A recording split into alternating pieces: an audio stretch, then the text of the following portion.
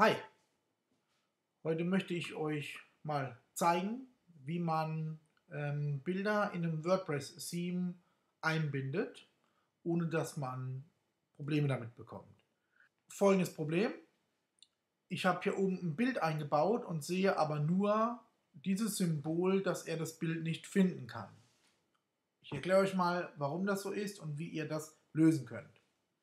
Ihr geht über ein FTP-Programm auf euren Surfer in WP Content, dann in die Themes, in das aktuelle Theme, in dem ihr ein Bild einbinden wollt, geht in den Ordner Images, kopiert hier euer Bild rein, das ihr benutzen möchtet. Wenn ihr das reinkopiert habt, geht ihr in den Ordner zurück und öffnet die Datei header.php. Die öffnet ihr in einem Editor und jetzt seht ihr hier diese Zeile.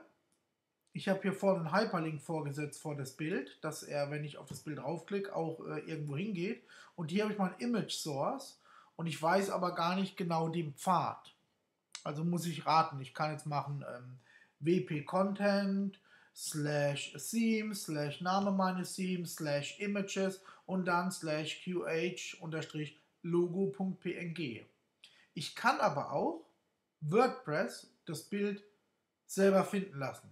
Das heißt, ich kann WordPress äh, dazu veranlassen, in meinem Themes Images Ordner nach diesem Bild zu suchen. Ist sehr interessant, wenn er mal das Theme wechseln sollte, bräuchte ich bloß die Bilder rüber kopieren und dann würde sie trotzdem noch finden. Wie funktioniert das Ganze? Es gibt also folgenden Befehl, Image Source, dann ruft ihr einen PHP-Befehl auf, Block Info, Klammer auf, Parency Open, Template unterstrich Directory, wieder den Oberstrich, Klammer zu, Semikolon und den PHP-Befehl abschließen.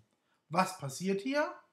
Er sagt, hol dir die Blog-Infos und zwar, wo ist der Template-Ordner?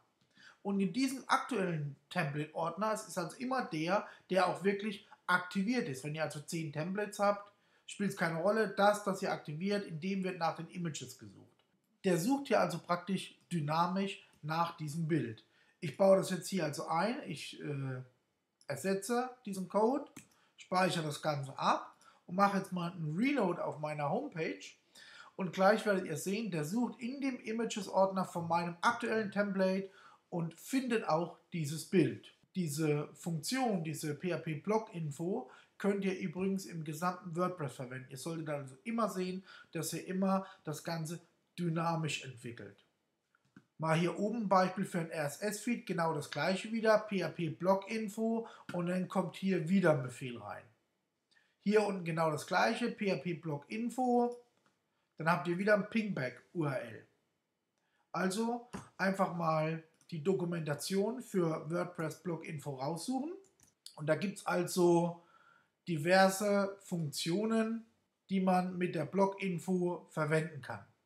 Wir haben hier ein Usage, das heißt PHP Blog Info Show und dann habt ihr hier Name, Description, Admin Mail, URL, WP URL, also die WordPress URL zum Beispiel, das Style Sheet Directory, Directory. Es gibt also viele interessante Befehle, die ihr mit Blog Info einbauen könnt, dynamisch einbauen könnt in euer WordPress-Theme. Das war es mit diesem kleinen Tutorial. Ich hoffe, es war interessant für euch und es hat euch etwas mehr Verständnis über die Vorgehensweise in WordPress gegeben. Ich freue mich, wenn ich euch helfen konnte und wir sehen uns wieder bei www.rotodi.de.